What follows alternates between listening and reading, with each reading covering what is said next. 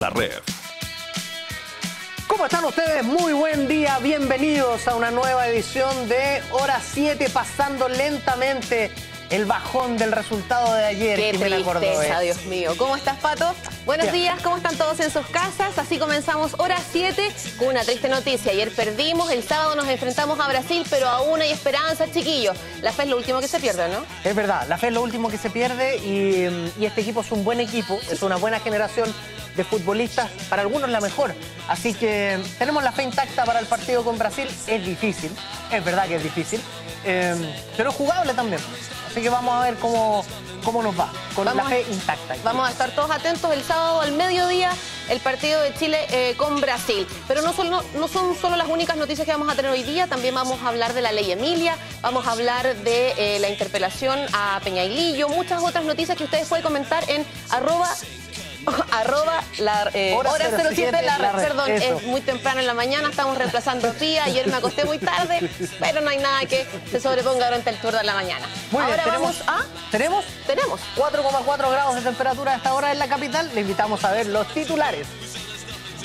Titulares. Hora 7. Presidenta Bachelet envió proyecto de la nueva ley Emilia. Establece como delito la fuga y reincidencia de choferes ebrios. Y se repite la historia. Chile se enfrentará a Brasil en octavos de final por tercera vez en un mundial. Encuentro se juega el sábado al mediodía en Belo Horizonte. Choferes del Transantiago advierten sobre nuevo paro este sábado por partido de Chile. Piden resguardar la integridad de los conductores y las máquinas. Que se ven solo en nuestro país. Ayer perdió Chile, ¿cierto? Sí, perdón. Corríjame si estoy equivocado. Me encantaría estar equivocado. Pero no, perdió Chile. Al igual llegó gente a Plaza Italia a festejar que la clasificación será, ¿o Sí, no? la clasificación. Y Esa era la justificación, hubo- digamos. Mire, igual hubo gente que se portó mal, que rompió ahí unas vallas, eh, que hizo desorden, eh, que transitó o que caminó por la calle. De verdad que encuentro insólito el que hayan llegado hasta la Plaza Italia. No, no, no se justifica sabiendo que perdimos con Holanda 2-0 y llegar a Plaza Italia a celebrar el octavo de final cuando ya estábamos clasificados. Tú sabes que ayer hablamos con un sociólogo en la radio y me quedó claro que ni los sociólogos entienden este fenómeno. O sea, le quedó grande a todo el mundo. Es que ¿Con nos vamos, a que Plaza- nos vamos a. Italia cuando perdemos. Nos manifestamos porque estamos molestos por algo, porque no hay un servicio que nos cumpla. Nos vamos a Plaza Italia para celebrar que ganamos, que tenemos un triunfo, algo nuevo para nosotros. Pero rompemos siempre 300 es el mismo final. Pero ¿qué- Hacemos qué desmanes, Bueno, destrozamos las micros, agredimos gente, toman detenidos. Digno de análisis sociológico el tema eh, de ayer, pese a la derrota, eh, gente en Plaza Italia y gente con vocación de destrozar lo que se le pusiera por delante. Pero- Pero el Mercurio en su portada de hoy.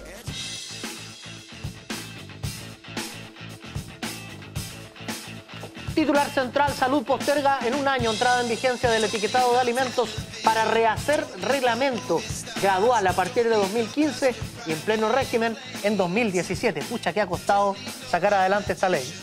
Seguimos con nueva ley Emilia, establecerá como delito calificado la fuga y reincidencia de choferes ebrios. Presidencia, fir- presidenta firmó ayer el proyecto. Y la pena se aumenta de 5 a 10 años la máxima. Exactamente, y lista aérea del avance encuesta Las Chilcas en la portada del Mercurio. Está bien buena la foto aérea de cómo está quedando ese lugar. Eh, algunos tuvieron que soportar incluso en el verano tacos para poder ir al norte producto de esas obras, pero, pero de que van a servir y van a ser de gran utilidad, van a ser de gran utilidad. Vamos Bueno, a destacar del Mercurio, Sí. Jimé. La portada de la página de la, mm, del, cuerpo C. del cuerpo C, perdón, sí, que dice aeropuerto podría sufrir colapso por falta de espacio en las losas y trabajos en pista principal. Operadores advierten que si obras de reparación se prolongan podría haber cierres por neblina y el periodo crítico va a ser entre julio próximo, que ya comienza la próxima semana, y abril del 2015 por la temporada alta de carga y el alza del turismo. Gobierno descarta problemas operacionales. Esto porque están ampliando el aeropuerto para poder tener una mayor cantidad de estacionamientos para los aviones, que eh, actualmente son, si no me equivoco, son 31 sitios para estacionar. Y además a esto, que supuestamente este proyecto ya debería estar entregado en diciembre de este año, noviembre, diciembre más o menos, eh, dicen que podría ser la entrega, se suma la reparación o repavimentación de la, de la pista principal del, del, aeropuerto, donde, que es la única pista que tiene la tecnología suficiente para poder despegar y aterrizar con neblina. Desvíos a Mendoza, se pregunta el artículo en el Mercurio. Aerolíneas temen que los trabajos se extiendan más allá de abril, cuando comienza a caer neblina en Santiago. En esa fecha también estará en faenas Carriel Sur que es el de Concepción. Entonces ahí ya la situación se pone bien compleja. sí, es bien complejo. 7 de la mañana con 3 minutos hemos visto lo que trae el Mercurio. Ahí a nuestra espalda está la portada de las últimas noticias y vamos a verla. Está la novia de Edu que dice a Brasil le vamos a ganar. Brasileña Daniela Colet cree en la roja. Mire qué bonita la novia de Edu. Es bien guapa, fíjate, ¿ah? ¿Cuántas palacias le habrá contado para conquistarla? Ni se le ocurra lavar el pollo. Tírelo a la sartén así nomás. Fuimos pioneros sí, en fuimos este pioneros en esa noticia. La contamos la semana pasada, si no me equivoco, martes o miércoles. ¿Cómo se llama? Campylobacter se llama la bacteria que eh, se propaga si usted lava el pollo. Y Katy Contreras, me arrepiento de no haber pescado a mi mamá. Todo esto en la página 42 de las últimas noticias. la enseñanza, usted dele bola a su mamá, pesquela para que después no diga que se arrepiente de no por algo te lo dicen, las mamás son muy sabias. Bueno, ahora vamos a destacar del diario Las Últimas Noticias la página 38, que son alternativas para mantenerse calentito en el auto. Cuatro accesorios para cambiar el frío en el auto. El primero es un calentador de asientos, que es como la función del... Como el calientacama, pero para el asiento del auto. Exacto, como el calientacamas, pero para el asiento del auto. Lo otro es una manta, que ahí la vemos en pantalla, una manta que puede eh, cubrir hasta tres personas en el asiento trasero. Esa es el calienta asiento. ¿Ya? Que se conecta, la mayoría se conecta al, al encendedor del auto. estamos viendo ahí me gustó. Es como un eh, Mac, pero, es un Mac, auto. Sí, que se calienta y tiene termostato. Está bueno. Y el otro es un bebé calentito, que es un saco de dormir que se pone en la silla del auto para el bebé y que tiene acondicionado para que tenga la seguridad de las sillas para los niños, no molesten, digamos. Y se puede poner, y más encima repele el agua. Entonces, si está lloviendo, usted saca su bebé calentito del agua y no se moja. ¿Está bueno? Sí, son súper buenos. Y yo también vi una en, un, en otro medio publicado eh, una cafetera de estos cafés que son estos cafés que son como capuchino, mocachino, todo eso. También viene para el auto. No, sí. se pasó. ¿Y esta gente vive en el auto que necesita tantos artículos? Hay varios que viven en el auto, ojo. Hay varios que pasan en el auto. Vamos a ver la portada de Publimetro a las 7 de la mañana con 5 minutos. Ahí está. Ahí está, ¿no? Sí. Nueva ley Emilia. Aumenta las penas. Presidenta firmó ayer proyecto de ley en la moneda. Hasta 10 años de cárcel podrían ser condenados quienes maten a personas manejando vehículos en estado de ebriedad. Estuvo la familia de Emilia en la ceremonia. Es sin llorar. Chile cayó 2-0 ante Holanda. Es cierto, pero a Sánchez le dieron chuleta ese, es uno de los ese es uno de los centrales holandeses que medían como metro 90 cada uno y realmente eran muy bravos. ¿Puedo hacer un comentario de mujer? Sí. Estaban bien guapos los holandeses. Bueno, yo sabía que esto venía tarde o temprano. Insólito, hubo hinchas que celebraron, también repararon en eso y Neymar le dio aire a Brasil, que ayer le ganó a Camerún. Bueno, y ahora vamos a revisar la portada del diario Pop, el diario La Cuarta, que en su portada trae a Eduardo Vargas. También está acá. A pitearse la historia, dice el titular. La Roja se parará a los choros contra Brasil en octavos de final este sábado. Es que hay que pararse de esa manera, es la única forma de pararse frente al quinta, ¿cómo es? Penta, penta, penta, campeón del mundo. Derrota 2-0 con Tulipanes.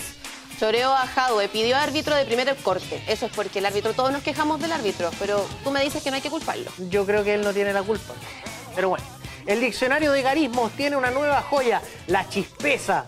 Es bueno tener miedo porque siempre está intacta la chispeza de hacerlo bien, de tener cuidado. ¿Será como creativo, ponte tú? Está muy bien, está muy bien.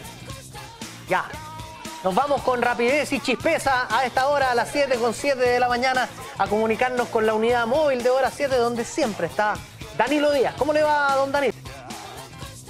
¿Está o no está, don Danilo?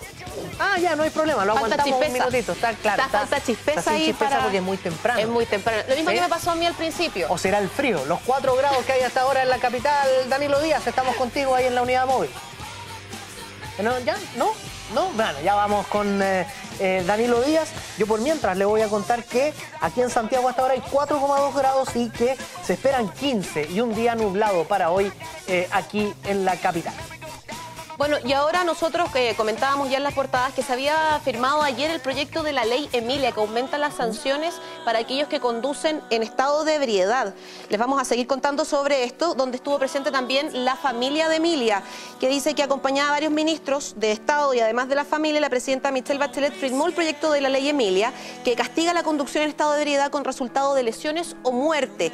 Esto es que se crean dos tipos de delito, el simple y el agravado. El simple las penas van de 3 a 10 años y el agravado que va de 5 a 10 años. Este agravado es el que se, es la, innovación, digamos, porque se castiga la huida del lugar cuando tú causas un accidente con lesión o muerte por conducir en estado de ebriedad y además la reincidencia y si es el chofer transporte a terceros y es eh, un cambio en la legislación que se había prometido en el, discurso del 21 de mayo que finalmente ayer se firmó y se envió al Congreso con suma urgencia.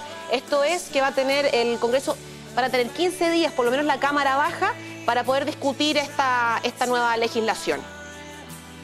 Y sabemos que este proyecto viene a llenar un vacío importante en nuestra legislación y muy doloroso para muchas familias chilenas. Un vacío legal que hace posible que haya en Chile personas que causen lesiones graves, incluso la muerte de inocentes, por conducir en estado de ebriedad y reciban penas que son irrelevantes. Y el proyecto de ley lo que hace es recoger varias iniciativas parlamentarias para terminar con, este, esta impunidad y hacer justicia en un tema que es muy sentido por toda la sociedad y que ha causado dolor a cientos de familias en nuestro país, como por ejemplo a los padres de la pequeña Emilia, que el año pasado fue atropellada por un conductor en estado de ebriedad, un conductor que no tuvo pena eh, de cárcel por su conducta a pesar de ser reincidente. Vamos a ponerle suma urgencia, eh, vamos a ingresar por la Cámara de Diputados con este proyecto y esperamos, eh, producto del consenso que ha logrado y el trabajo prelegislativo que ha tenido, que lo aprobemos rápidamente en la Cámara y pasemos al Senado, donde también estamos coordinados con las distintas bancadas y los distintos senadores. Recuerde que estamos, ya están llegando comentarios arroba hora 07 de la red. Ya en un minutito más los vamos a estar revisando. Ahora le invitamos a revisar un resumen de noticias de nuestro país. Síntesis Nacional en hora 7.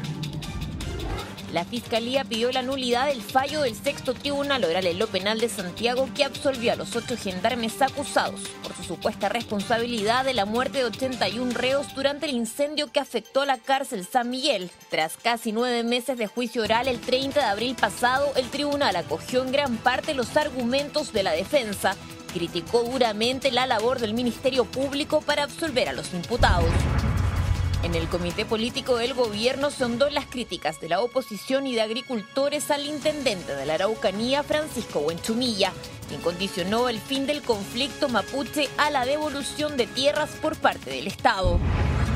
La Corte de Apelaciones de Santiago rechazó un recurso de protección presentado por el Movimiento de Liberación e Integración Homosexual en contra de los senadores Jacqueline Van Rieselbergue, Víctor Pérez Varela y la exdiputada María Angélica Cristi. Los parlamentarios de la UDI quienes manifestaron su oposición a la adopción de hijos por parte de parejas homoparentales y el matrimonio homosexual. Para los ministros del tribunal, las declaraciones de los parlamentarios se enmarcan dentro del extenso debate sobre el tema por lo tanto no pueden ser consideradas arbitrarias o ilegales. Bueno, y cuando son las 7 con 12 minutos vamos a tomar ahora sí comunicación con nuestra unidad móvil que está a cargo del periodista Danilo Díaz. Danilo, ahí te vemos. ¿Cómo estás? ¿Cómo te va, Jimé? Pato, muy buenos días. Eh, vamos a hacer un resumen sobre lo que sucedió el día de ayer. Incertidumbre en todos los clientes de los buses del Transantiago debido a un paro que estaba anunciado desde el fin de, semana. Precisamente a la empresa Alsace Express y Redbus que habían anunciado que harían un paro de sus actividades eh, desde la una de la tarde, precisamente posterior a que se registrara el partido entre Chile-Holanda. Es por esto que desde las 8 de la mañana muchos clientes comenzaron a tomar esta locomoción colectiva sin embargo, los problemas no se registraron. los eh, dirigentes, incluso el vicepresidente eh, Rodolfo Cid de la Asociación Nacional de eh, Choferes del Transantiago dijo, expresó que tenían mucho miedo debido a lo que ya se había registrado el 18 de junio cuando la selección chilena se había enfrentado a su símil de, de España y se registraron aproximadamente 40 choferes heridos, más de 500 máquinas del bus de Transantiago afectadas debido a a piedrazos y debido también a una suerte de celebración que posteriormente se transformó en agresión a estos choferes y también a estas máquinas que recorren el Gran Santiago. El día de ayer incluso eh, algunos de los dirigentes, eh, presidentes y vicepresidentes de estas asociaciones de Alsacia Express y Red Bus se reunieron con el intendente de Santiago debido a que este paro se podría registrar nuevamente. ¿Esto qué quiere decir? Que posiblemente podría ser un paro mañana, ya que está anunciado también una marcha por parte de los profesores, o bien el día sábado que hay un nuevo encuentro, eso sí, por octavos eh, de final, en donde la selección chilena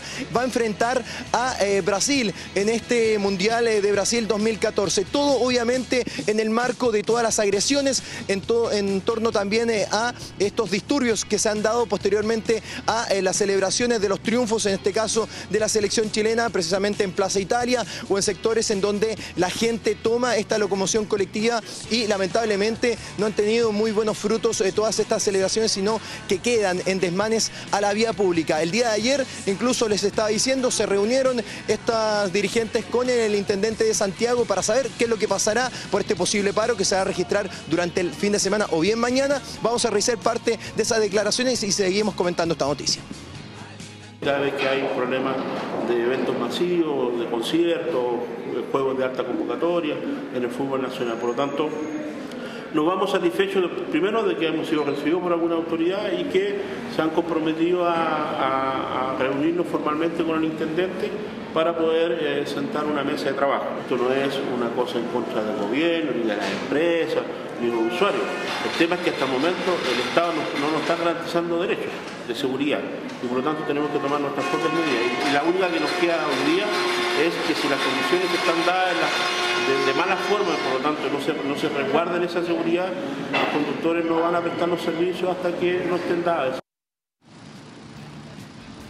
Claro, es una mesa de trabajo que quiere tratar de generar así eh, alguna seguridad. Incluso el día de ayer el metro de Santiago tenía un 30% más de aumento en el sentido de seguridad por carabineros debido a que si se registraba el paro, obviamente la gente iba a elegir eh, trasladarse en el metro de Santiago, situación que no se registró. Sin embargo, hay que tener un ojo atento a todo lo que suceda con el paro de estos choferes y obviamente de lo que pasa el día sábado en octavos de final entre Chile y Brasil. Vamos a terminar este despacho comentando lamentablemente una noticia policial que se registra eso de las 20 horas como una estación central, precisamente en Avenida Las Rejas Sur eh, con eh, Violeta. Fue ahí en donde un joven de 25 años, lamentablemente un poco desorientado debido a que estaba utilizando eh, su Walkman, estaba escuchando música, atraviesa por un lugar habilitado, eso sí, estaba con luz roja. Es ahí cuando un bus del Transantiago recorrido 101 atraviesa por esa intersección de calle y topa a este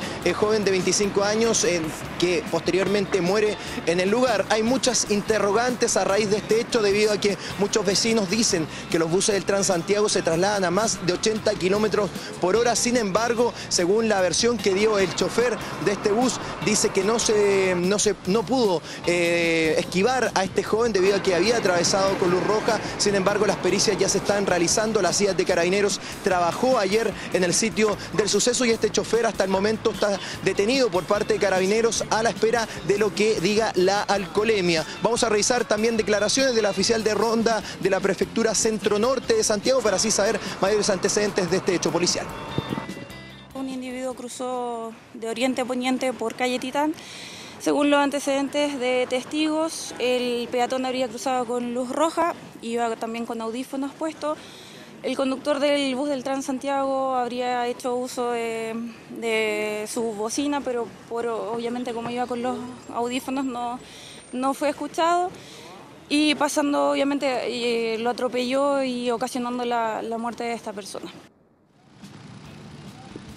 Bueno, es eh, un llamado de atención también que se puede hacer a raíz de esta noticia policial, tener mayor cuidado. Obviamente, si uno está escuchando música para de alguna manera u otra em, distraerse, obviamente tener cuidado cuando hace, em, cuando atraviesa las calles de Santiago y así, obviamente, evitar este tipo de hechos en donde uno, un joven de 25 años murió a raíz de cruzar en un paso habilitado, sin embargo, estaba en luz roja. Obviamente, noticias que ha marcado esta última jornada y que estaremos expandiendo en hora 20. Muchas gracias, Danilo. Cualquier cosa tomamos de nuevo contacto contigo en la unidad móvil. Nos vemos. Nos vemos. Buenos días. 7 de la mañana con 18 minutos, como siempre, estamos atentos a sus comentarios en arroba hora 07 la red. Vamos a revisar algunos de ellos. Por ejemplo, escribe Natalia Candia y dice, Chile perdió, pero seguimos con la alegría de ver a nuestra roja en Brasil. En Valpo la neblina tapó recién la luna, dice, mucho frío. Y agrega, no faltan los vándalos que usan una celebración como excusa para hacer daño a la sociedad. Carol Polhammer escribe, somos testigos de un proceso involutivo de capacidades cognitivas, dice, de algunas personas. Al golpear como simios, vemos marca de terreno, dice ella. Eh, Checho Báez, como siempre, manda una hermosa fotografía y dice, buen martes, tía Patito, se perdió una batalla pero no la guerra y ahora Brasil pagará el pato. Y mire qué linda esa puesta de sol que nos manda Checho Báez desde el sur. Sumamos uno más, el de Graciela García, dice, me alegraron el día, por fin, ley Emilia en trámite. Saludos. Y dice, buen día desde Antofagasta, por culpa del árbitro no pudo ser mejor. Adhiero al repudio pedófilo y envía eh, un afiche, señor director, si lo podemos ver. Ese es. Dice 24 de junio, repudio al Día del Orgullo Pedófilo. No más abuso sexual infantil. Todo llega a arroba hora 07, la red. Bueno, y a continuación vamos a seguir con las noticias y vamos a hablar de una nota que tiene que ver con el caso Tsunami, porque el séptimo juzgado de garantía de Santiago rechazó la petición del abogado Raúl Mesa de citar como imputada a la presidenta Michelle Bachelet por su eventual responsabilidad en la muerte de 156 personas en el tsunami que siguió al terremoto del 27 de febrero del 2010.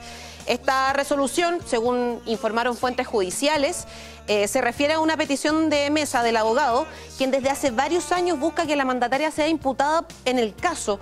Mesa, que representa en el caso a familias de algunas de las víctimas del tsunami, presentó hace algún tiempo una querella contra la presidenta por su eventual responsabilidad en las muertes, que ya contabilizábamos en 156 personas. Y el próximo miércoles 2 de julio, una vez que finalice la semana distrital, los diputados de oposición concretarán la solicitud de interpelación contra el titular del Interior, Rodrigo Peñailillo, por su gestión ante los actos de violencia en la región de la Araucanía. La instancia tomó más fuerza tras las últimas declaraciones del intendente Francisco Huenchumilla, a quienes lo acusaron de incitar a la violencia tras asegurar que el Estado debe tener una política de entrega de tierras a las comunidades mapuche y que algunas familias deben entregar sus fondos. La alianza también criticó sus dichos, al mismo tiempo que prepara el proceso. Quien lo lidere se va a conocer esta semana, pero desde Renovación Nacional afirmaron que el diputado del Distrito 49 de la Araucanía, Diego Paulsen, sería el escogido. Bueno, y también vamos a contar que los secundarios, al igual que la CONFET, se decidieron plegar al paro nacional convocado por el Colegio de Profesores para este miércoles, que es mañana 25 de junio, desde más o menos las 10 y media de la mañana, y que incluye una marcha por el centro de Santiago. Aseguraron estar convencidos que aumentando las movilizaciones serán escuchados según dijo el vocero de la CONIS, Ricardo Paredes. Paralelamente, la vocera de la ACES, Lorenza Soto, también se sumó a las declaraciones de Ricardo Paredes de la CONIS. El recorrido de la marcha desde Plaza Italia por la Alameda hasta Avenida España fue autorizado por la Intendencia Metropolitana. El objetivo, tener una participación real en la reforma educacional. Son las 7 de la mañana con 21 minutos y ahora nos vamos a ver el pronóstico del tiempo para todo nuestro país. Ahí está Arica que espera nubosidad parcial y una máxima de 18 grados para esta jornada. Iquique también parcial y 18 grados. Para Antofagasta, máxima de 17, cielo cubierto hoy. Mire que bajita la mínima en Copiapó, apenas 3 grados, máxima de 19. Un día frío para los registros habituales de Copiapó. Va a estar cubierto. Y en La Serena, cielos nublados, máxima de 15 grados. Seguimos con la zona centro del país. Valparaíso estará nublado con extremas de 8 y 16 grados. Santiago también va a estar nublado con una máxima de 16. Rancagua nublado con extremas de 4 y 15 grados. Con extremas de 3 y 13 grados y también va a estar nublado. Y Concepción va a tener nubosidad parcial con una máxima de 13 y una mínima de 3. Vamos al sur del país, ahí está el pronóstico para Temuco que espera una máxima de 12 grados y cielos cubiertos. Para Valdivia es casi el mismo escenario, mínima de 3, máxima de 12, cielo nublado. Aparece la lluvia en Puerto Montt, precipitaciones, máxima de 10 grados. Coyhaique, lluvia con una bajísima temperatura mínima, 0 grados, máxima de 6. Y en Punta Arenas también llueve con frío, 0 grados de mínima, 5 apenas la máxima. Y lo invito a la isla de Pascua. Allá voy. Que me gusta la isla de Pascua a mí. Es bonita la Todavía de espero su invitación. Usted me dijo que me iba a invitar y no me Va, invitado. va a llegar, va a llegar. En Isla de Pascua va a haber nubosidad parcial con una mínima de 17 grados y una máxima de 21. En Juan Fernández va a estar nublado con extremas de 11 y 14 grados y la Antártica va a estar cubierto y nevadas con una mínima de menos 3 y una máxima de menos 1.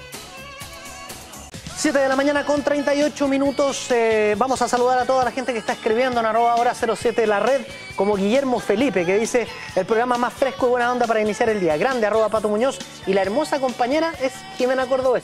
Así dijo, la hermosa compañera. Muchas Muy gracias. Bien. John dice, eh, RN, específicamente el señor Larraín, ¿estará de acuerdo con la nueva hashtag ley Emilia? Lo escriben con signo de interrogación. Lo dudo, dice.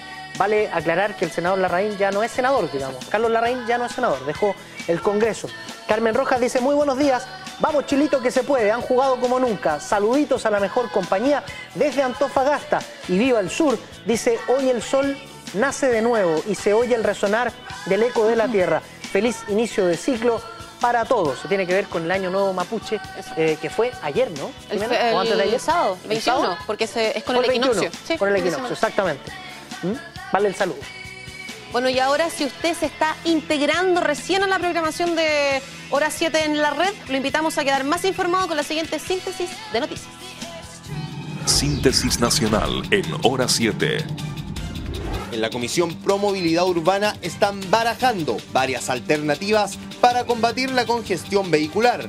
Dentro de las propuestas que se manejan están la tarificación vial y compensaciones o incentivos a las personas que renuncien al uso del automóvil.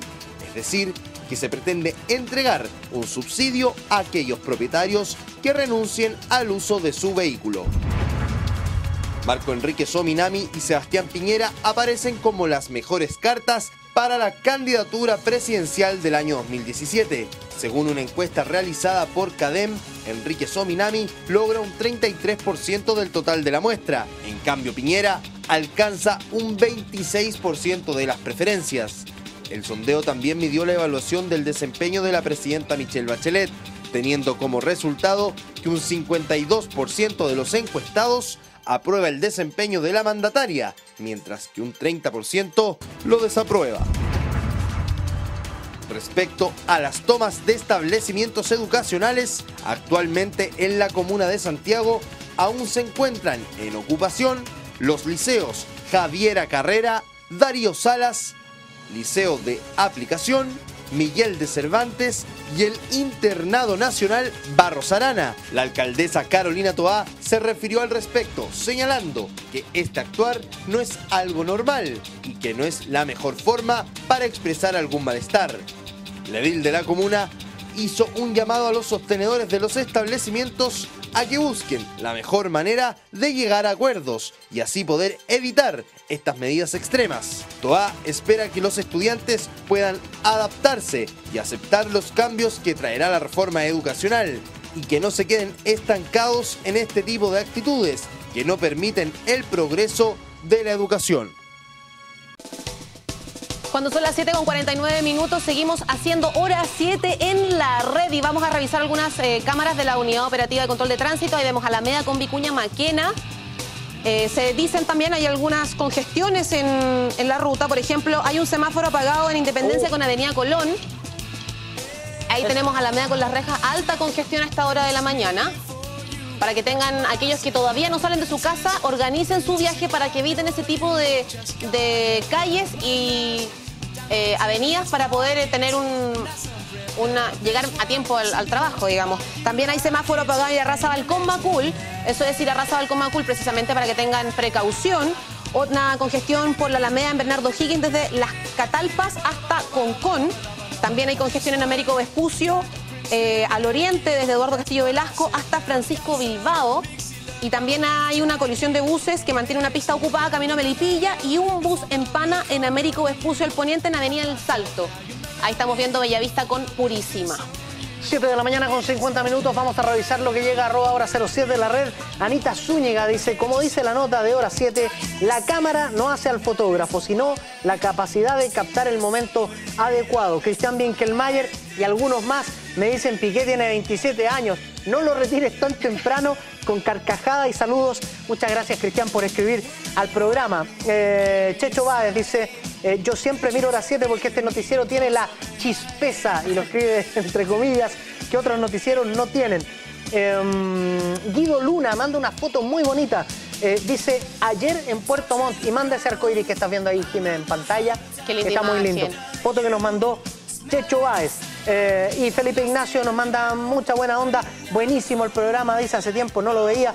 Eh, muy linda Jimena, dice, con una risa te manda saludos a ti. Ah, muchas gracias. Saludos a todos aquellos que nos ven a esta hora de la mañana. Con 56 minutos vamos a tomar contacto con Danilo Díaz en la unidad móvil. ¿Cómo estás, Danilo? Cuéntanos, ¿dónde estás?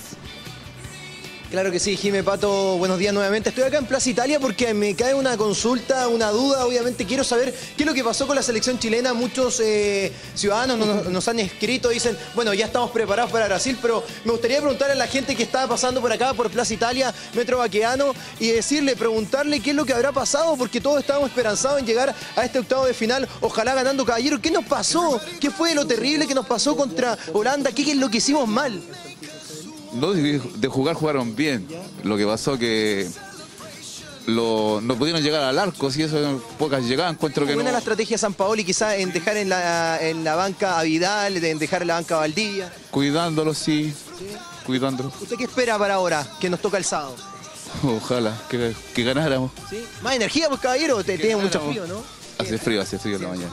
Hola, un abrazo, caballero, que le vaya muy bien hoy día. Vamos a preguntar a la gente que está saliendo del metro, ¿qué nos pasó en el Mundial? ¿Qué nos pasó? ¿Por qué perdimos? Porque malo, malo, malo, malo. ¿Pero qué fue lo que hicimos mal? ¿Fue un, un error estratégico? Sí, no, no, no, no vino nada mejor. Hasta, hasta el... ¿Y, y el sábado cómo nos va? Bien, ahí sí, ahí sí. Bueno, esa es la esperanza, caballero, que le vaya muy bien el trabajo. Caballero, buenos días, dos segundos. ¿Qué nos pasó? ¿Qué nos pasó contra Holanda? Confianza a lo mejor. ¿Confianza? Pues. ¿Exceso de confianza o quizá la estrategia estuvo mala? Debería haber entrado Vidal, Valdivia. ¿Qué nos pasó? Yo creo que estamos.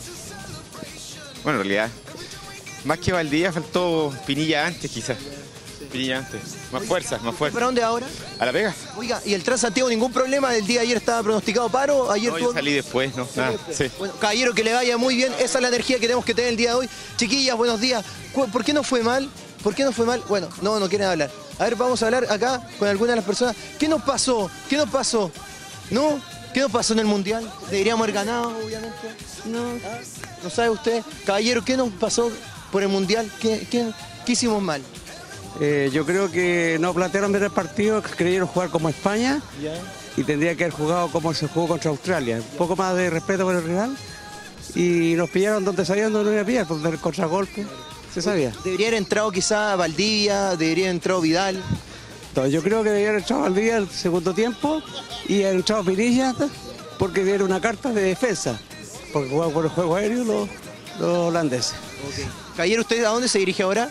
A Metro Salvador. Metro Salvador. ¿Algún atochamiento vehicular para que vayamos preguntando, eh, de- diciéndole a la gente de hora 7? No sé, pero saco el metro y camino, así que... Oiga, caballero, me encantó su gorro. ¿Le puedo decir dónde lo compró usted? Eh, no sé, me lo regalaron. Eso, muy bien. Que la vaya muy bien, caballero. Y usted, usted está acá conmigo, caballero. Buenos días. ¿Qué nos pasó? Dígame usted, quizá usted tiene ahí la llave. La mala suerte.